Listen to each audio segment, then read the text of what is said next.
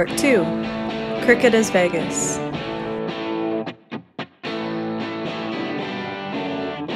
Uncle Kit. I don't know why Danny went to Vegas. We played cards all the time, and I even told him that he should try and at least get a side hustle going. There's plenty of card rooms in LA, and like most tables in general, they're filled with idiots. He could have made his run here. He would go into spells playing cards with his buddies and earning some beer money, but I always told him to get serious and make some real cash. Plenty of guys much stupider than him pay for their family trips to Disney World with what they take from even stupider guys at Commerce or Hustler. It's not even like he had anything else going on. Told him he had nothing to lose, and if he got good enough, he'd even be able to make his living that way. Anyone who works a 9 to 5 can tell you anything's better than that. I don't care if you lay bricks or organize spreadsheets. It's all hell if you stay long enough. I'm also the one who taught him how to play. I know a lot of people try to take credit for that, but I was the first one to put a deck in his hands. I don't even think he could read at that time. He used to bring over his Go Fish cards with the big ass cartoons on them, and my wife would play with them for hours. I'd come home from work, and they'd be at the table making pairs. She told me one night that he beat her pretty often, and she was worried that maybe she was losing her mind or just really stupid. She wasn't sure which was worse. Her grandma had something like that, dementia related issues. Anyway, she told me I should play with them, if for nothing else to engage with the little guy, who didn't have much of a father figure. I love my sister way too much to start going down that road. So the next night, I sit with Danny and Melody, and we play a few rounds. I find out real quick that Danny is a natural. I'm not going to sit there and test my hypothesis with a bunch of 5 inch cards with cartoon friggin' squids on them, so I bust out my bicycle deck. We start simple, same rules as Go Fish, but we make the pairs with the real cards. Danny nails it. So I tell him that if you can make a set of five of the same suit, that's double the points or whatever. No problem, he still nails it. So I decide right then and there, tomorrow, I teach him the hands and how they rank. In a pair of sessions, this kid's got it down Hold'em and Omaha. So we play hand after hand, night after night, all summer long. I even tell his mom to let him spend the night so we could get some real work in. By this point, he forgets all about Go Fish, much to my wife's disapproval. She's still on me for teaching him a gambling game, even as I explain to her time and time again that it's not a gambling game, it's a strategy game. You bet on anything and it's a gambling game, for Christ's sake. Anyway, summer finally ends, and I'm telling Danny that he's got to stick with this.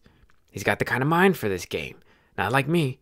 So he says sure, and I tell him we'll get a game going soon, some of my work buddies. They'll get a kick out of it, and I'll roast them to Kingdom Come the first time my nephew fleeces him. It was fun until I realized that that was my money Danny was walking off with, too. I make a lot of jokes, ask anyone, but I seriously had to stop playing in games with him in the mix.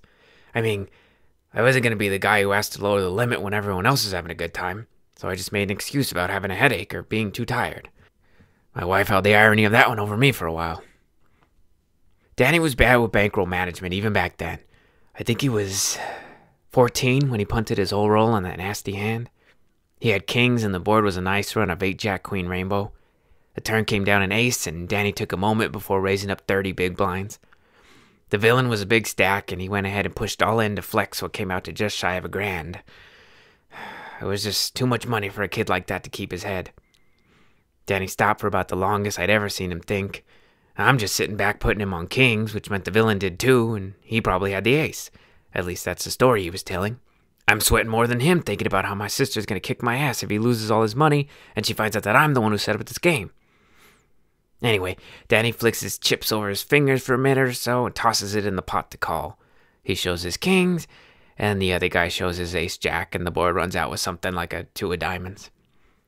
Danny didn't say a word, just stared at the cards on the table as they got shuffled back into the deck, and his opponent wrangled in the past four years of his poker career with just one scoop of his fat ass arm. He left the table quietly as the game kept going, and I told him this was between us, but you guys understand. I found him crying in our master bathroom. I waited for him to come out and tried to tell him this happens. It's gambling. That's why rule number one is you never bet what you can't cover. Luckily, it was a cash game and he was a kid. He'd have a place to stay and a warm meal tomorrow. He'll be fine. Take the lesson and keep playing. I emphasized that he wasn't the first guy to have his kings cracked. Told him that probably won't even be the last time that particular hand runs out on him. Little did I know that the next time his big pair would crack would be when he lost my money. This was when he was about probably 23. He always had a hard time getting on his feet. Something like being born under a bad star. He was rounding a little back then, but again, just for some side cash. At this time, he had been let go from a job delivering documents for a law firm, and he was going to make rent, so he needed to play a little more. He had it in his head that if he got into a bigger game, he'd get out of his problem faster. He called me and asked to borrow a grand or so, claimed he only needed two bullets and he'd be good. Of course, I told him to piss off, but what I didn't think to do was to warn my wife, because of course he would just turn and ask her, which he did, and he got his money. He did well for a while, got his rent paid, but did he turn and use that extra time to get his act together? Maybe another job? Maybe get something going so he could pay us back? Nope, he kept playing. He went a month or so burning through his big game until it all came crashing down on a pair of cracked aces. He finally answered my call about a week after he went under, and he almost burst into tears again, explaining to me that he didn't have the money. I changed the subject, and we just talked about hands for a few hours, and I told him the places where he screwed up. Then I chewed him out for breaking the key rules of never betting what he couldn't cover. He was still a baby, thank God, and still hadn't taken any credit from people who could really hurt him. He told me he was going to live with his mom for a while until they got everything together. I told him to just get it to me when he could. I wasn't hurting too bad, so I let him off the hook, temporarily. Not enough to just tell him to forget it, he still needed to take that responsibility. But what was the point in stressing him out even more? He still hasn't paid me back.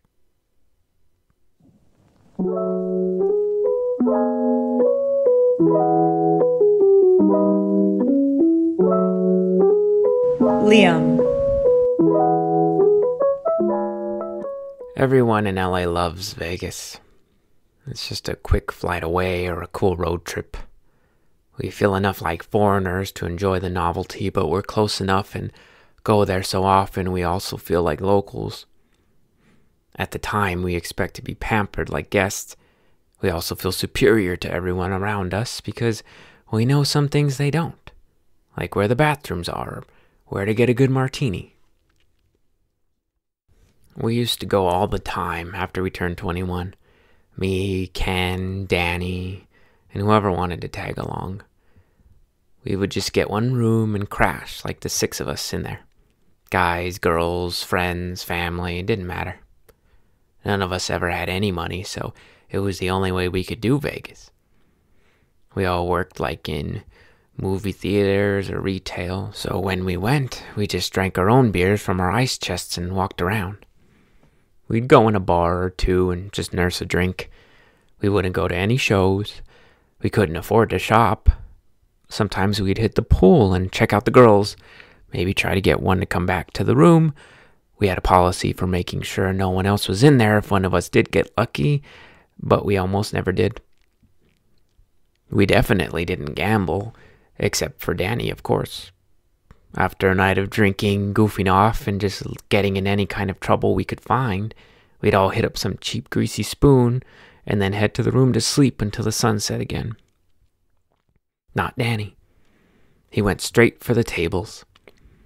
He was good company because I knew all he wanted to do was play cards for 72 hours straight, but he partied with us and had a good time. Then, instead of crashing, he did his thing when we were passed out. Was he on drugs? I can't say for sure, but I never saw it. But I also never saw him sleep. The only thing I saw was the cash he'd come back to the room with. He didn't always win, but he would bring stacks of thousands of dollars all the time. He always called dibs on the safe, which was a waste of time because none of us had anything worth putting in there. He was the only one who came back to LA with more money. Again, maybe there were drugs involved, because he was always broke. If he was so good at cards, why did he never have any money? Danny and I are a lot alike. I lived in New York for almost eight years. Me and my girlfriend moved over there just because. She was an actress and she wanted to try and see if she could fare better over there. I didn't care. I was in love and always down to change things up. We broke up after a year, and I stayed. She moved back to LA a few months later. I was working at a high school in Staten Island, and I was actually loving it. I had a group of friends who were always a good time. I loved the school and my students. It seemed perfect.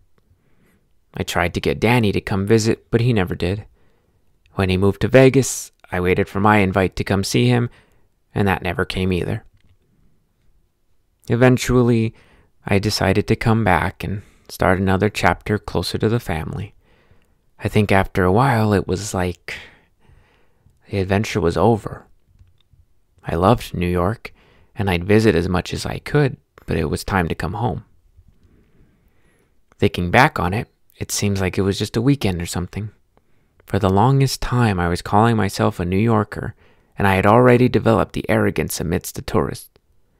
Laughing at people who brought up Times Square, then bragging about how I hadn't been there in years. The hardest part was leaving the students. The way it worked over there, I'd sometimes teach kids from freshman year through the end, so they'd become kind of like my own kids. I'd gotten to know so many of them so well, the ones that graduated too. I knew there was almost no chance I'd see them again, and that was hard. Like Danny, I'm a nomad, and it's a tough life. We get the freedom and all that, but it's hard because there's no way to not form relationships. These little spells, like eight years in New York or 15 in Vegas, are especially hard because they feel like they were supposed to last forever. I can only imagine how that feels in the context of his marriage.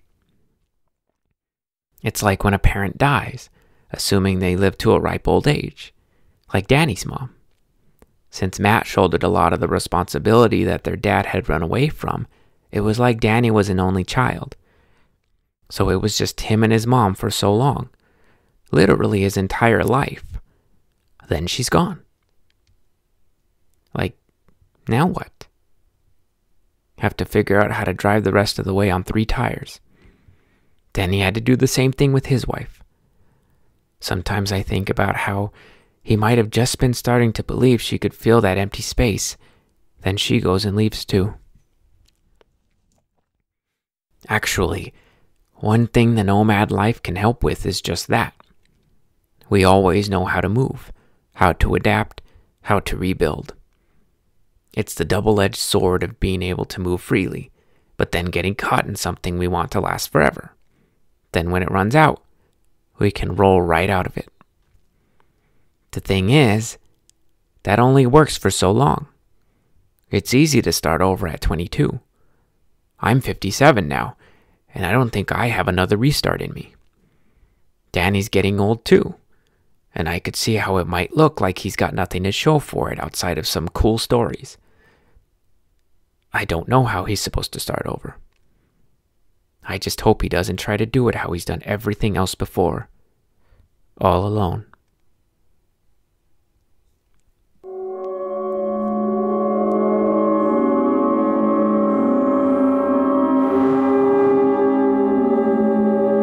Danny. There's a Christian song with the lyric, God draws straight with crooked lines. It's a nice thought. Not super clear on whether or not that line is tracking up or down, though. But maybe that's the point. Not everyone gets happy endings. Not all lives trend upward.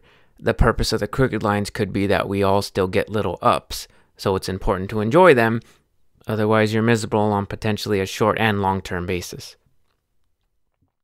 I've had tons of ups, like really big ups, and maybe there's even still more coming. I don't know. Kind of funny because when you gamble for a living, it's really easy to see the trends. Guess it's the same in almost any business, though. It's definitely unique to a game like poker with luck worked right into it. The math nerds try really hard to put it all into numbers and use probability to make it more predictable, but the heart and soul of this game is luck. Anyone who's played more than a few thousand hands knows that you can play perfectly and still hit major downswings. I definitely did not play perfectly in poker or in this rough metaphor. So maybe all in all, I have trended upward. Like, I've made every mistake there is, and I'm not dead or in jail. So, in the grand scheme of things, based on my choices and the hand dealt to me, I could very well be performing at an optimum level. Or maybe this is just a roundabout way to make myself feel good about the life I built or the lack of. People always ask why I moved to Vegas.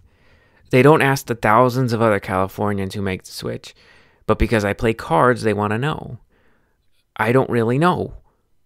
As my mom or anyone else would have told you, I don't think a lot before I do things. It makes me a good poker player, maybe, but it definitely messes with every other aspect of my life. I needed the change. I needed new fish. I needed to be alone. I had too many needs. LA was always there, and as I might be about to confirm, it'll always be there whenever I need to come back. Guess that makes me luckier than most. My mom told me she wanted me to play full time, right before she died. She always said that, though. This might sound cold, but people, everyone, tries to sound poetic when they know they're about to die. We never pulled punches when we talked, but we also kept our boundaries. She always told me to just borrow some money from her and try to make it in the 510 games around LA. She told me I could even stay with her rent free and see how it works. Big part of that was my fault. Sometimes I exaggerated my win rate. I mean, so does everyone else, but I didn't want a handout. I should say, any more handouts than she already gave me. Remember how I said it was a testament to my luck that I wasn't in jail or on the street? Well, that luck was made flesh in my mom. I had a lot of good family support to bail me out throughout my life, but my mom was always my first call. Then that moved to Amy. Now, I don't know. I'll tell you one thing I know for a fact. If you're thinking about playing cards for a living or just moving to Vegas, it's cold as shit. Remember, this isn't Angeleno talking, but this is miserable. I'm repeating myself now, but I didn't think this through before I started walking. If you ever want to doubt exactly how stupid I am, just remember that I literally walked to my room at the Wynn, and instead of going up and grabbing a jacket, for whatever reason that made sense to me at that moment, I just kept walking back in the other direction. Not planning things has its price. The flamingo's right here. I can just stop in and buy a hoodie. It's a funny thing because being broke in this country means I can still buy new clothes or food, maybe even find a discounted bus ticket. Other people literally starve in their huts. Their kids just die in their arms. That's being broke. Not this. I don't know what this is. Just whining instead of withering. Suffering more in the mind than in the body. Then again, who can we trust to draw the line between real torment and just complaining? Does starving hurt more than losing the love of your life? Is freezing to death worse than being left to live with nothing at all? It's all just mental exercises, meaningless in that they don't help guide the next move. What's worse? Who cares? I'm cold now, and I'm going to remedy that by buying a jacket which might just be the last dollars I ever give this town. All I can say for sure is that there's now, there's what I'm feeling. The rest is uh, to be continued.